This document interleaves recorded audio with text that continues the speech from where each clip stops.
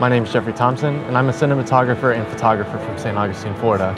I actually stumbled into photography through filmmaking and documentary, and I love telling stories and capturing those types of moments, so I wanted to see if I could implement those cinematic techniques into photography. Well, the city I come from, it's a small fishing town called St. Augustine, Florida, and one of the unique things about that place is it's just like this small, bustling, very simple town, and I, I absolutely love that simplicity and I wanted to see if I could carry it over into the energy that New York has. And I absolutely love the just the, the hustle and bustle and I wanted to see if there are ways that I could implement this simplistic lifestyle into the craziness of New York City. I find myself actually in a really large internal conflict because videography is why I even got started. It's my first love, it's what I love doing.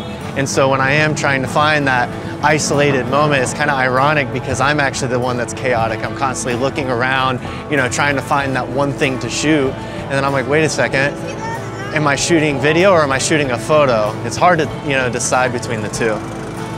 Shooting on a wide angle lens in many cases in photography is like one of the most helpful things in the world because most of the time when you're taking photos, you're on a street, you're you know, you see a giant building, you've got a landscape. This lens has really helped me out, like with the, you know, those cases, you know, whether I'm in a subway and I'm capturing a person just standing there by themselves on the, you know, waiting on the train, or, you know, capturing someone crossing the street, or even just like a really interesting building as the sun is setting and casting a nice shadow over it.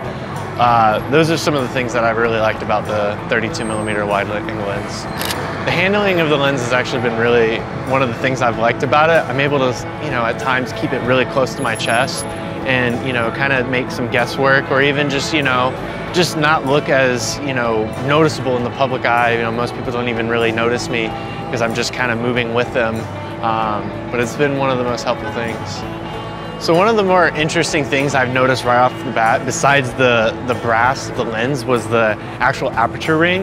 I was able to actually switch from the lowest aperture to the highest in a matter of seconds in just one click because it spins on a 360, you know, uh, diameter. Um, it's it's really helpful, especially like if I'm, you know, in the subways and it's, you know, a bright day. So the moment I come outside, I'm like, oh shoot, I need to get this really quick. I can instantly go to f11. So even though the aperture ring clicks, you can actually do a really interesting thing. You can you can put it halfway between each stop and get a really interesting vignette effect or even a light leak effect.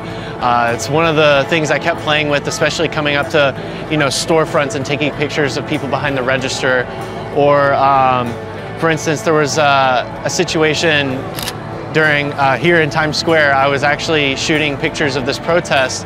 This lens actually flares in a very unique way. When you're, say, facing a, a street lamp or the sun, you get this really interesting uh, circular light flare.